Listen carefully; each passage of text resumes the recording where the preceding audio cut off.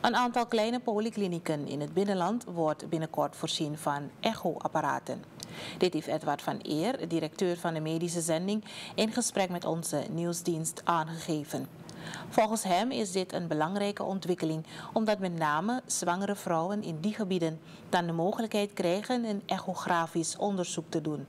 Hierdoor kan de zwangerschap beter gecontroleerd worden.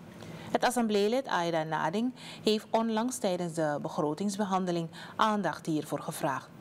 De MZ-directeur zegt dat deze situatie binnenkort verandert. Het is heel belangrijk.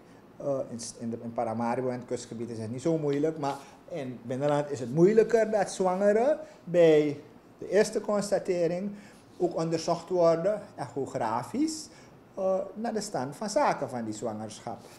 Dat kan nog niet, omdat niet op alle polyklinieken er een echoapparaat is. Ik denk ook niet dat het lukt om, om 56 polyklinieken te voorzien van een echoapparaat. Maar grote polies die hebben dat al en een aantal moeten nog krijgen.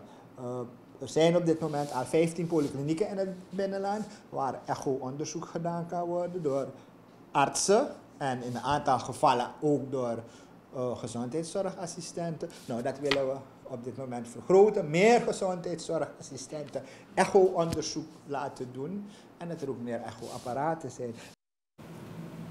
Volgens Van Eer wordt het curriculum van de gezondheidsassistenten ook aangepast. Deze groep wordt in de toekomst het eerste aanspreekpunt van de patiënten.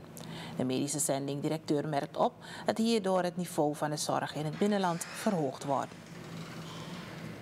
De gezondheidszorgassistenten, dat zijn de spil waarbinnen, waar, waar omheen de medische zending draait. De vorm van gezondheidszorg bieden, uh, het is niet nieuw in de wereld dat je mensen opleidt die wel geen artsen zijn, maar wel het eerste aanspreekpunt zijn van uh, de zorg.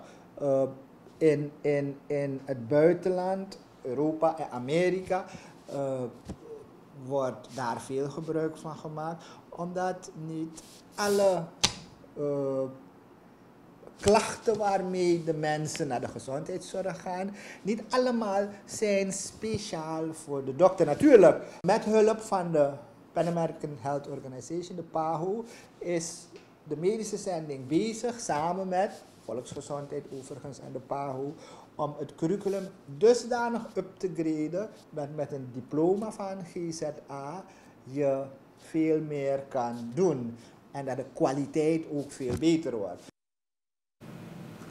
Medische zending directeur Edward van Eer. Hij zegt dat de medische zending bezig is met belangrijke projecten die het niveau van de zorg in het binnenland zullen verhogen. Een daarvan is het plaatsen van echoapparaten op de kleine polyklinieken.